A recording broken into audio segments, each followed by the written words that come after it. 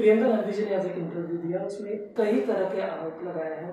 केंद्र सरकार पर आप कैसा देखते हैं देखिए ऐसा ध्यान में आ रहा है कि बिल्कुल एक सोची समझी रणनीति के तहत कांग्रेस पार्टी और गांधी परिवार देश में एक नकारात्मकता का नरेटिव तैयार करना चाहता है। मैं तो प्रियंका जी को ये पूछना चाहता हूँ कि उन्होंने आज जो सारी बातें बताई, क्या कभी इन बातों की चर्चा उन्होंने, जहाँ उनका राज है महाराष्ट्र, उनके भरोसे चल रहा है ना महाराष्ट्र की सरकार? उस सरकार के साथ कभी उन्होंने इसकी चर्चा की क्या? क्योंकि अगर हम देखें तो जो बातें वो कह रही थी, सबसे ज़्यादा उन बातों को महाराष्ट्र में पाया जाता है। आज महाराष्ट्र की अवस्था क्या है? देश में कोरोना की जितनी मौतें हुई है, उसमें तकरीबन 48 से 40 प्रतिशत मौतें अकेले महाराष्ट्र में हुई है। देश में कोरोना के पूरे जितने मामले, जितने केसेस हुई है, उसमें से करीबन 35 से 40 प्रतिशत केसेस भी महाराष्ट्र में हुई है। और आज भी समूचे देश में कोरोना के जितने एक्टिव पेशेंट हैं, उसमें से तकरीबन 35 से सैंतीस प्रतिशत पेशेंट्स ये महाराष्ट्र में है। और जब पिछली वेव में महाराष्ट्र सबसे ज़्यादा कोरोना से प्रताड़ित था तो फिर महाराष्ट्र ने इसकी तैयारी क्यों नहीं की? प्रियंका जी ने, राहुल जी ने, सोनिया जी ने, मनमोहन जी ने, जिन्होंने पिछले चार दिनों में नरेटिव तैयार करने के लिए प्रेस कॉन्फ्रेंसेस की या पत्र लिखे, मैं सवाल पूछना चाहता हूँ, ये सारी सलाह उन्होंने महाराष्ट्र को क्यों नहीं दी? आप देखिए टेस्टिंग की बात होती है, नवंबर में अगर हम मुंबई देखें तो मुंबई का टेस्टिंग बारह हज़ार है। एवरेज दिसंबर में चौदह हज़ार है। जनवरी में पंद्रह हज़ार है। फरवरी में पंद्रह हज़ार है। और पिछले सात दिनों में मुंबई का एवरेज टेस्टिंग ये मात्र पैंतालीस हज़ार है। और 18 परसेंट रेट ऑफ़ इन्फेक्शन है। 18 परसेंट रेट ऑफ़ इन्फेक्शन के साथ दो करोड़ की आबादी वाली मुंबई में अगर मात्र पैंतालीस हज़ार टेस्टिंग होता होगा तो मामले कौन छुपा रहा है? आज मुंबई में और महाराष्ट्र में जो यहाँ पर लैब्स है, उन लैब्स को कहा गया है कि एक सीमा के बाहर वो टेस्टिंग नहीं कर सकते। महाराष्ट्र जैसे अगड़े राज्य में सात से दस दिन कोरोना के रिपोर्ट आने के लिए लग रहे हैं। आज महाराष्ट्र में बेड्स उपलब्ध नहीं है, वेंटिलेटर्स उपलब्ध नहीं है, ऑक्सीजनेटेड बेड्स नहीं है। तो जो महाराष्ट्र सबसे ज़्यादा प्रताड़ित था, जहाँ सोनिया जी की सरकार चलती है, प्रियंका जी की सरकार चलती है, क्या उसकी ज़िम्मेदारी नहीं थी? और आज भी आप देखिए, आज भी महाराष्ट्र में कहीं पर भी सरकार का अस्तित्व जो है, वो हमको नज़र नहीं आता। और इसलिए मुझे ऐसा लगता है कि सबसे पहले ये सलाह प्रियंका जी ने महाराष्ट्र को देनी चाहिए थी, क्योंकि अगर महाराष्ट्र के आंकड़े ये देश के आंकड़ों से हटा दिए जाए तो ऐसा लगता है कि देश में कोरोना के मामले तो है, लेकिन बहुत कम है। और जैसे ही महाराष्ट्र के आंकड़े उसमें ऐड हो जाते हैं तो फिर हमारी तुलना कुछ देशों के साथ शुरू हो जाती है, और इसलिए मुझे लगता है अपना फेलियर अपनी सरकार का फेलियर ये अगर अपने गिरेबान में झाँक कर प्रियंका जी इसके ऊपर विचार करती तो शायद इस प्रकार की प्रेस कॉन्फ्रेंस और इस प्रकार का नकारात्मक नरेटिव देश के लिए वो तैयार नहीं करती। क्या परिस्थिति है छत्तीसगढ़ में? छत्तीसगढ़ में भी उनका राज है ना? छत्तीसगढ़ में मोर्टेलिटी रेट सात दिन में थ्री टाइम्स बढ़ा है। मैं कोई आंकड़ों की जद्दोजहद नहीं करना चाहता, लेकिन ये जो नकारात्मक नरेटिव तैयार करके मानो सारा का सारा केंद्र सरकार करती है, ये बताने का प्रयास और अपनी असफलताओं को छुपाने का प्रयास जो होता है लोगों को ऐसे कोरोना के समय इतनी ऊँची राजनीति ये पसंद नहीं आती। सर उन्होंने रेमडेसिविर इंजेक्शन का मुद्दा उठाया उनका कहना है कि छः महीने में ग्यारह लाख के करीब रेमडेसिविर जो इंजेक्शन है उसको मुहैया किया देखिए रेमडेसिविर ये पेटेंटेड ड्रग है और विदेशी कंपनी के पेटेंट के आधार पर यहाँ पर कुछ लोगों को उसका लाइसेंस मिला था। और इसलिए यहाँ पर मैक्सिमम एक्सपोर्ट के यूनिट्स थे। हम लोग उसके मैन्युफैक्चरर थे, हम कंज्यूमर नहीं थे उसके। हम उसको एक्सपोर्ट करते थे। लेकिन जैसे ही सरकार के ध्यान में आया कि हमको रेमडेसिविर की आवश्यकता है तो सरकार ने तुरंत क्लॉज इन्वोक किया, एक्सपोर्ट बैन किया और देश में एडिशनल लाइसेंसेस दिए। और आप 11 लाख रेमडेसिविर की बात करते हैं कि वे रेमडेसिविर एक्सपोर्ट हुए। देश के अंदर सात दिनों में हमने डेढ़ लाख से तीन लाख रेमडेसिविर प्रतिदिन इतनी क्षमता को बढ़ाया। भारत सरकार ने माननीय मोदी जी के नेतृत्व में तीन लाख रेमडेसिविर प्रतिदिन का प्रोडक्शन हमने शुरू किया है। और ये अभूतपूर्व है। और ये भारत ने हिम्मत दिखाई है कि एक पेटेंटेड ड्रग को भी भारत ने स्पष्ट रूप से कहा कि अब हमारे यहाँ पैंडेमिक है, हम पैंडेमिक एक्ट इन्वोक करते हैं और इसके जो मैन्युफैक्चरर्स है, उसको लोन लाइसेंसेस देकर हम इसको बढ़ाएँगे। मुझे ऐसा लगता है कि ये 11 लाख एक्सपोर्ट हुए ये बोलने की जगह अब हर दिन तीन लाख तैयार हो रहे हैं। इसकी ओर अगर ज़्यादा ध्यान दिया होता और अगर ये समझ लिया होता कि रेमडेसिविर हमारे यहाँ एक्सपोर्ट के लिए ही मेजर बनता था।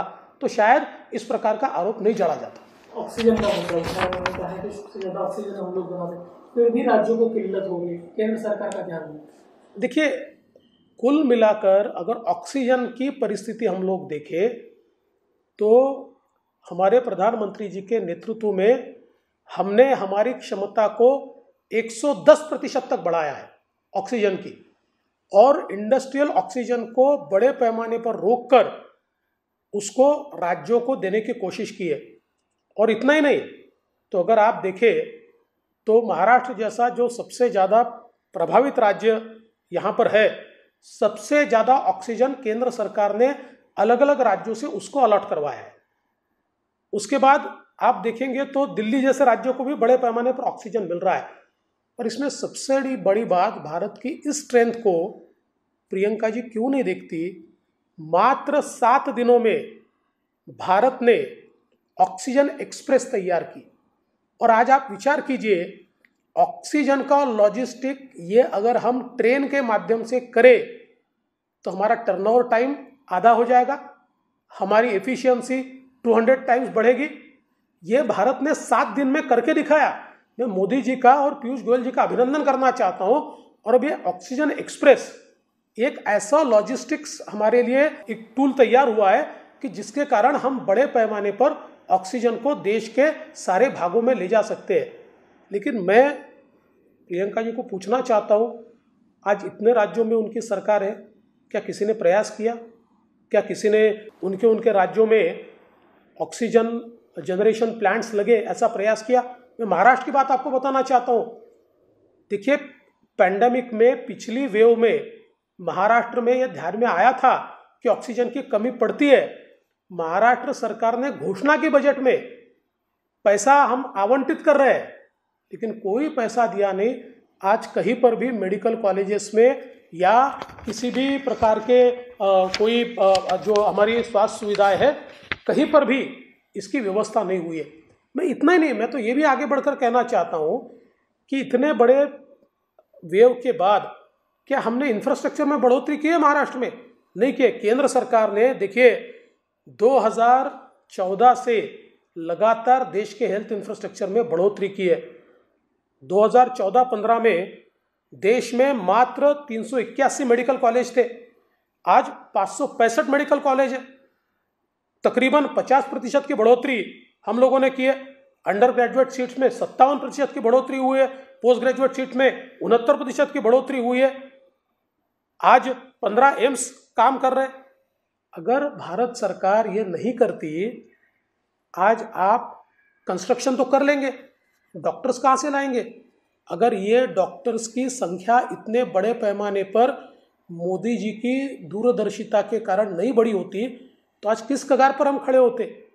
अब मैं अगर उल्टा सवाल पूछूँ तो राजनीति दिखेगी, पर प्रियंका जी, इतने वर्ष आपके परिवार का राज रहा, इतने वर्षों में आपने कितने डॉक्टरों को तैयार किया, कितने मेडिकल कॉलेज तैयार किए? आपने इतने सालों में जितने मेडिकल कॉलेज तैयार किए, उससे दुगने मेडिकल कॉलेज।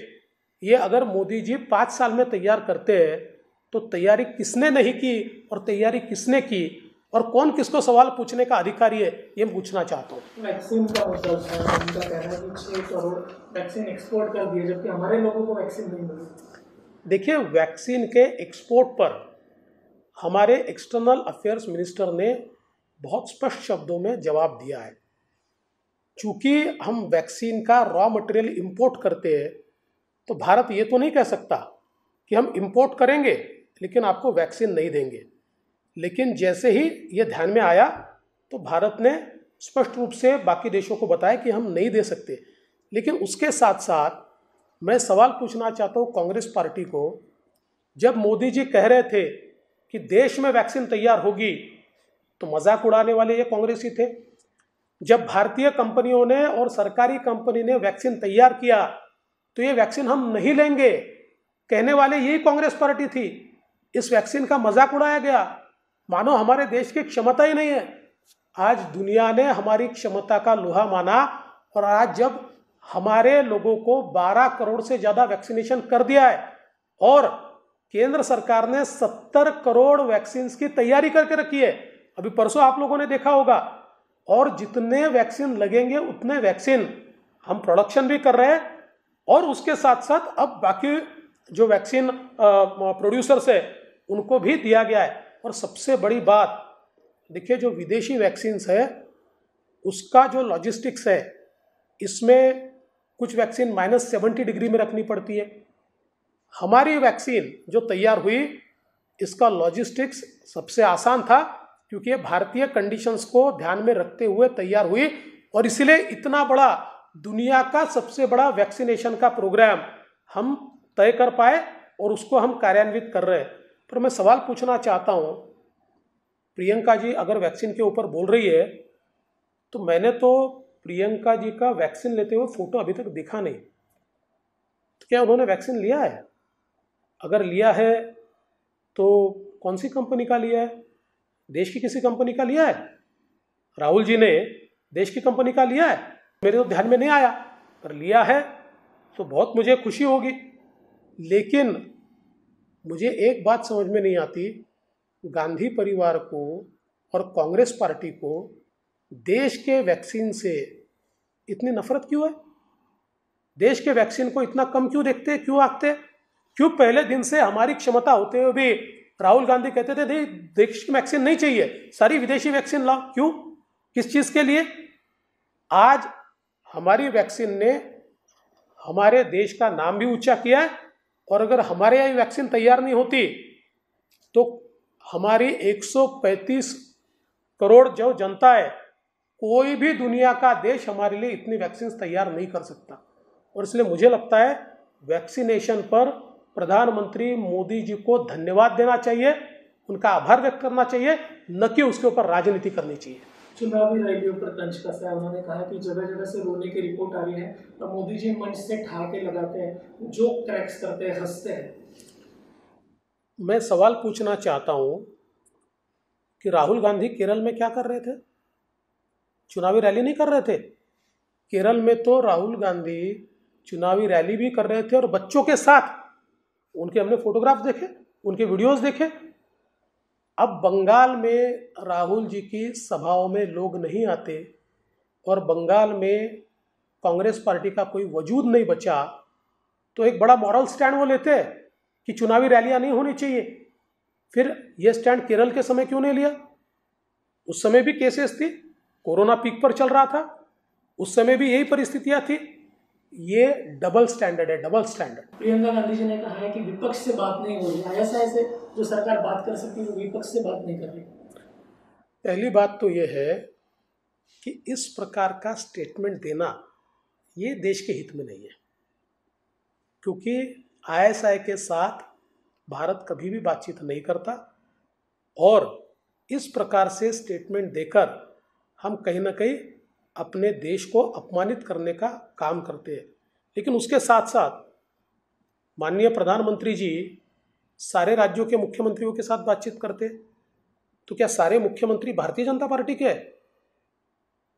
मुख्यमंत्री तो कांग्रेस पार्टी के भी है, कम्युनिस्ट पार्टी के भी है और अलग अलग रीजनल पार्टीज़ के भी है। उन सारी पार्टीज़ के मुख्यमंत्रियों के साथ बातचीत, यानी विपक्ष के साथ बातचीत नहीं होती। जब प्रधानमंत्री जी ने ऑल पार्टी मीटिंग की, उसमें सारी पार्टियों के साथ बातचीत नहीं हुई। अब ये बात अलग है कि कांग्रेस पार्टी का मानना है कि विपक्ष, यानी गांधी परिवार, और गांधी परिवार के साथ ही संवाद होना चाहिए। अगर ऐसा आग्रह होगा तो उसके लिए मुझे ऐसा लगता है कि राहुल गांधी जी को, या प्रियंका गांधी जी को, या सोनिया गांधी जी को, उनके पक्ष का लोकसभा में नेता बनना चाहिए। राज्यसभा में नेता बनना चाहिए। और उसके बावजूद अगर उनको लगता है कि नहीं नहीं, हमारे साथ संवाद होना चाहिए तो मोदी जी ने कहाँ मना किया है? जब वो कोई पत्र भेजते हैं या कोई संवाद करने की कोशिश करते हैं तो मोदी जी तो आगे बढ़कर संवाद करेंगे। पर आपको तो संवाद करना नहीं है। आपको तो केवल तंज कसना है, आपको केवल टीका करनी है, आपको केवल विरोध करना है। उन्होंने कहा है कि ये राजनीति का वक्त नहीं है। मनमोहन सिंह जी ने जो कुछ सवाल, सुझाव दिए, उस पर अमल करना चाहिए केंद्र सरकार पूरी राजनीतिक बात करने के बाद अंत में ये कहना और नसीहत देना कि राजनीति का समय नहीं है। आप क्या कर रहे हो? कि जनता के समझ में नहीं आता? एक दिन सोनिया जी, एक दिन राहुल जी, एक दिन मनमोहन जी, एक दिन स्वयं प्रियंका जी। ये सारी चीज़ें लोग समझ में नहीं आ रहा है। लोग समझते देखिए मनमोहन सिंह जी का हमेशा आदर प्रधानमंत्री जी ने किया है भारत सरकार ने किया है। और वो जो सही बात कहते हैं, उस बात का आदर भी होता है। पर मुझे समझ में नहीं आता कि कभी कभी शायद पार्टी के दबाव में अगर मनमोहन सिंह जी भी राजनीतिक बातें अपने पत्र में लिख दे या नरेटिव तैयार करने वाली बातें लिख दे तो फिर उसका जवाब तो सरकार को देना पड़ेगा और सच लोगों के सामने लाना पड़ेगा। बाकी मैं ऐसा मानता हूँ कि मनमोहन सिंह जी के बारे में भारत सरकार के मन में प्रधानमंत्री जी के मन में और सारे मंत्रियों के मन में निश्चित रूप से एक रिस्पेक्ट है। एक और केंद्र सरकार दावा कर रही है कि पूरी व्यवस्था है। हर तरीके से सुचारू रूप से सब ऑक्सीजन हो इंजेक्शन हो वैक्सीन हो सबकी आपूर्ति हुई है। फिर दूसरी और कुछ सरकार है जैसे महाराष्ट्र की सरकार हो छत्तीसगढ़ की सरकार हो दिल्ली की सरकार हो वो लोग क्यों चिल्ला रहे देखिए इन राज्यों में परिस्थिति अत्यंत गंभीर हो रही है। और ऐसी गंभीर परिस्थिति में जब राज्य सरकार अपनी विफलताओं को छुपाना चाहती है तो बजाय इसके कि केंद्र सरकार के साथ कोऑर्डिनेशन करे, केंद्र सरकार को नीचा दिखाने का प्रयास, अफवाहें फैलाना फैलाने का प्रयास, गलत बयानबाजी करने का प्रयास, ये इन सरकारों के माध्यम से होता है। और जितने बार इन्होंने गलत बयानबाजी की है, उतने बार उनको की खानी पड़ी है सत्य लोगों के सामने आया है। मैं तो ऐसा मानता हूँ कि अपनी अकर्मण्यता और अकार्यक्षमता को छिपाने के लिए हमेशा केंद्र सरकार की ओर उंगली दिखाना, ये बहुत गलत है। केंद्र सरकार लगातार राज्यों के साथ मिलकर काम कर रही है। केंद्र सरकार ने कभी भी ये नहीं कहा कि हमारा काम नहीं है, या ये हमारी सूची का काम नहीं है, ये राज्य की सूची का काम ऐसा कभी नहीं कहा। जो भी हो, भारत देश में भारत का नागरिक हमारा है उसको बचाना हमारा फ़र्ज़ है उसको इलाज मिले हमारा फ़र्ज़ है इसके साथ मोदी जी की सरकार काम कर रही है। कल प्रधानमंत्री ने अपने निवेदन में कहा कि लॉकडाउन ही अंतिम पर्याय है फिर भी अभी राज्य सरकार तैयारी करे शायद आज अनाउंस हो सकता है। देखिए आदरणीय प्रधानमंत्री जी ने बहुत स्पष्ट शब्दों में ये कहा है कि लॉकडाउन ये बिल्कुल अंतिम इस प्रकार का हथियार है क्योंकि हम लॉकडाउन क्यों लगाते हैं? तो लॉकडाउन लगाने के बाद हम इंफ्रास्ट्रक्चर को बढ़ाने के लिए हम लॉकडाउन करते या पिछला लॉकडाउन हमने क्यों किया था? क्योंकि उस समय भारत में एक पीपी किट नहीं बनती थी। भारत में मास्क नहीं बनते थे। भारत में वेंटिलेटर नहीं बनते थे। भारत में व्यवस्थाएँ नहीं थी ऑक्सीजनेटेड बेड्स नहीं थे। अब वो परिस्थिति नहीं है। अब भारत में इन सारी चीज़ों का इतना प्रोडक्शन हम करते हैं कि हम एक्सपोर्ट भी उसको कर सकते हैं। इतने बड़े पैमाने पर प्रोडक्शन करते हैं। तो आज हमको अर्थव्यवस्था का भी ध्यान रखना पड़ेगा, क्योंकि लॉकडाउन में जो सामर्थ्यवान है, उसको तो कोई फ़र्क नहीं पड़ता। लेकिन जो गरीब है, उसके ऊपर जो मजदूर है, उसके ऊपर जो नौकरी पेशा है, उसके ऊपर इसका असर पड़ता है। और आज देखिए, केंद्र सरकार ने 20 लाख करोड़ का पैकेज देकर हमारे छोटे उद्योगों को, मझोले उद्योगों को, व्यवसायिकों को फिर एक बार जीवित किया या उनको एक जीने की नई राह दी। और ऐसे समय वापस अगर हर राज्य लॉकडाउन लगाना शुरू करेगा तो इनकी, ये जो छोटे छोटे काम करने वाले लोग हैं या छोटे उद्योग हैं, इनकी आर्थिक परिस्थिति इतनी खराब हो जाएगी कि वापस खड़े नहीं हो पाएँगे। और इसलिए मुझे ऐसा लगता है कि लॉकडाउन ये जैसे प्रधानमंत्री जी ने कहा है, ये बिल्कुल आखिरी पर्याय है और हम लोगों ने उसका विचार ये बिल्कुल रूटीन की तरह नाही करना चाहिए। सर ऑक्सिजनचं शॉर्टेज आहे मोठ्या प्रमाणात. आज आपण कलेक्टरची पण भेट घेतली काय नेमकं आणि मी नागपूरच्या जिल्हाधिकाऱ्यांकडे गेलो होतो कारण ऑक्सिजनची खूप कमतरता आहे आणि निको इंडस्ट्रीज जी नागपूरची आहे त्यांचा एक इंटिग्रेटेड प्लॅन्ट रा रायपूरला आहे. काल मी त्यांच्याशी चर्चा केली आणि मी त्यांना विनंती केली की तुम्ही मूळचे नागपूरचे आहात आणि नागपूरला आत्ता ऑक्सिजनची आवश्यकता आहे तर तुमच्या प्लॅन्टमधनं थोडा प्लॅन बॅकडाऊन करून तुम्ही नागपूरला ऑक्सिजन दिलं पाहिजे. आणि त्यांनी काल मला आश्वस्त केलं की आम्ही अल्टरनेट डेला एक ऑक्सिजनचं हे टँकर हा तिथनं पुरवायला तयार आहोत. आणि म्हणून आज मी कलेक्टरकडे जाऊन कलेक्टरचं आणि त्यांचं बोलणं करून दिलं. टँकर्सची कमतरता आहेत त्यामुळे टँकर्स जे पुरवत आहेत त्यांच्यासोबत मी त्यांचं कलेक्टर साहेबांचं बोलणं करून दिलं. विशेषतः जी एस डब्ल्यूवाले जे जिंदाल साहेब आहेत त्यांच्या कंपनीच्या माध्यमातून एक व्यवस्था उभी केली आहे की ज्यातनं काही टँकर्स हे उपलब्ध होत आहेत. तर त्या टँकर्सच्या संदर्भातली चर्चा आम्ही केली. आणि आता त्याचं सगळं टायअप झालं आहे शक्य आलं तर आज किंवा उद्या एक टँकर तिथनं निघेल आणि दर अल्टरनेट डेला एक टँकर ते नागपूरला देतील. तर मला असं वाटतं की त्याच्यामुळे काही प्रमाणात का होईना, पण ऑक्सिजन की जी काही कमतरता है ती दूर करता येईल.